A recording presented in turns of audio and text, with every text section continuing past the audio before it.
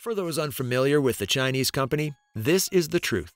Huawei is the world's largest provider of telecommunications equipment, networking gear, and smartphones. Statistically, Huawei is the largest cell phone manufacturer in the world, not Apple. So, how could a company with so much impact get banned?